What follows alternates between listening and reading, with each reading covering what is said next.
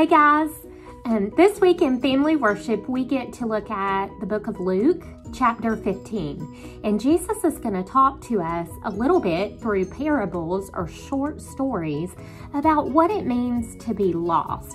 Have you ever heard someone in church say, we need to pray for our friends who are lost? And you may wonder, what does that mean? Well, it doesn't mean they're lost like they can't find their way on a map um, but it means that they are lost in their sin. They're living in darkness because anything apart from God, the Bible calls darkness, and that um, they need to be rescued by Jesus.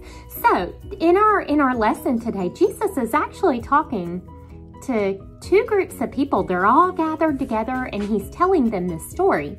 And you know what? These groups of people are a lot like me, and you. Some of the people were sinners. They were people who knew they were lost. They knew that they were not following Jesus. They might have been tax collectors or people who were just stuck in their sin and did not know Jesus. But the other group of people were Pharisees and scribes, people who they didn't really know they were lost but they were trying to save themselves by being really good and following all the rules, when inside, their hearts did not love Jesus. And so Jesus tells stories that kind of speak to both of these people. In his very first story, Jesus talks about a shepherd who has a hundred sheep. Do you see how sheep kind of like to stick together? Well, he has a hundred sheep, but one sheep wanders off and is lost. Do you know the shepherd cares so much about that one sheep that he leaves the 99 to go rescue the one. And when he finds the one, he puts him on his shoulders and carries him back to the flock.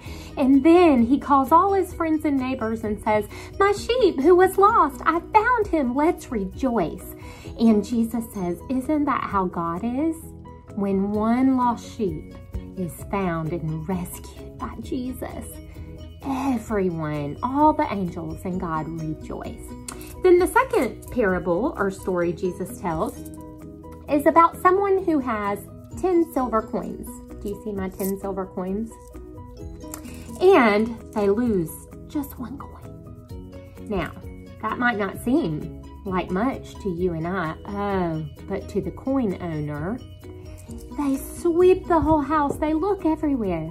And then they find the coin. And when they find the coin, they call all their friends and neighbors and say, Look, I found my missing coin. Let's rejoice. And that's just like God is when one lost person is rescued and saved by Jesus. And then the third story that Jesus tells is about a loving father who has two sons.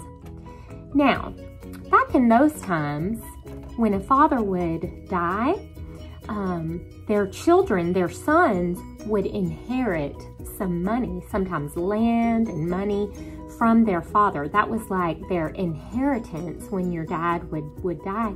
And do you know, one of the sons was very greedy. And he actually came to his father and demanded his inheritance early so that he could go live wildly and waste it on whatever he wanted. And so I imagine that broke the father's heart. But he gave the son his inheritance, and that son went off and lived wildly and wasted all of his money. And he became poor and hungry, and he had to take a job feeding pigs. And one day he looked and he said, Oh, these pigs are eating better than I am. I'm gonna humble myself. I'm gonna go back to my father and beg him to forgive me. And I'm going to beg to just be one of his servants.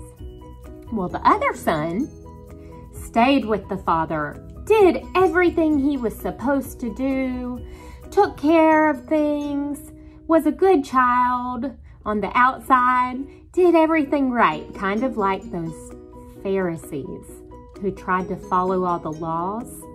So here's what happened. The son who had wandered away, who was lost, returned to the father.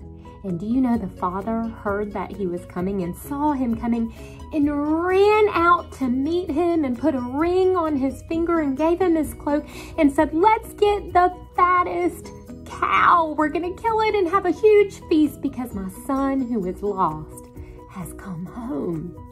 He wasn't angry at the son. He was so thankful that the lost one had come back. But do you know the other son became angry.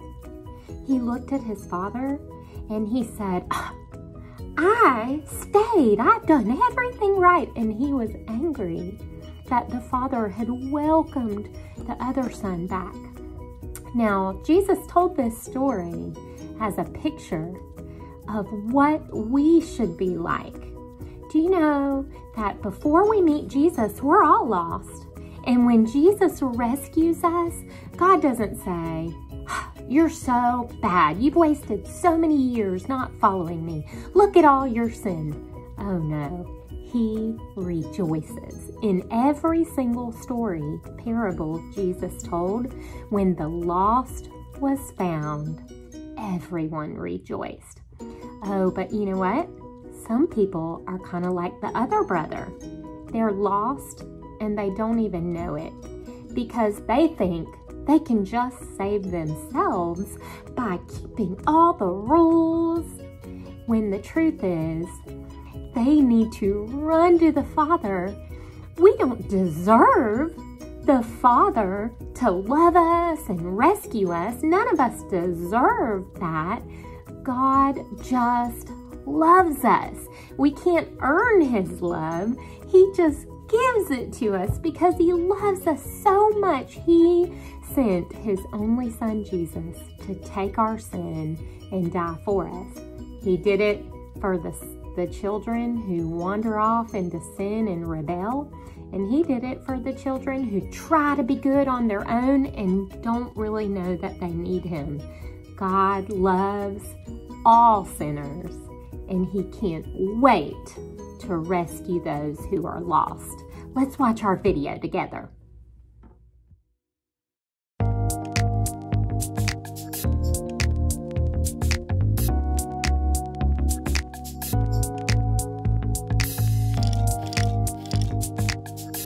Tax collectors and sinners came to listen to Jesus teach. The religious leaders complained because Jesus welcomed sinners. So Jesus told them three parables to teach them about God. Jesus said, If a man has 100 sheep and loses one, what does he do? He leaves the 99 sheep and searches for the lost sheep until he finds it.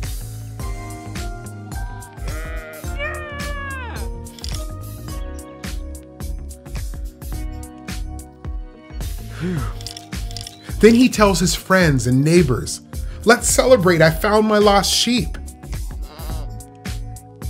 In heaven, there is more joy when one sinner repents and turns back to God than for 99 people who did not wander off.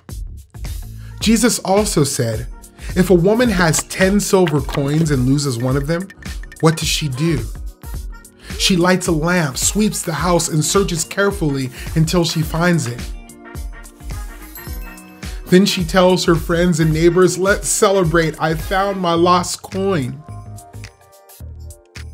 Then Jesus repeated, In heaven, there is joy when one sinner repents and turns back to God. Jesus told a third story. A man had two sons. The younger son said, Father, give me my inheritance today. So the father gave his son his share. The younger son left home. He wasted his money and lived foolishly. There was a famine, and the people in that country did not have enough food.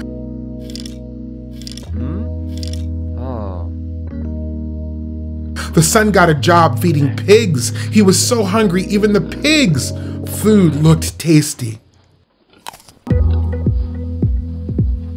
The younger son made a plan. he would go back to his father and admit he was wrong. He would ask to work for his father like the servants. So the younger son headed home. He was still a long way away when his father saw him coming. His father ran to him, threw his arms around him, and kissed him. The son began to apologize. I have sinned against God and against you, he said. But the father told his servants, Let's celebrate with a feast. Bring the best robe and put it on my son. Put a ring on his finger and sandals on his feet. This son of mine was lost, and now he is found. At this time, the older son came from the fields and heard music at the house. What's going on? He asked one of the servants. Your brother is here, the servant said. Your father is celebrating. The older brother was angry. He refused to go to the feast. The father asked him to come inside. The older brother said, I never disobeyed you, but you never threw a party for me. Son, the father said, everything I have is yours. We have to celebrate. Your brother was lost, but now he is found.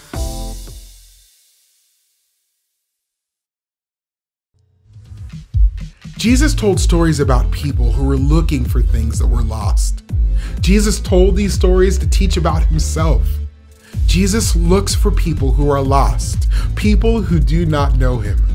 Jesus gave his life to save people from sin.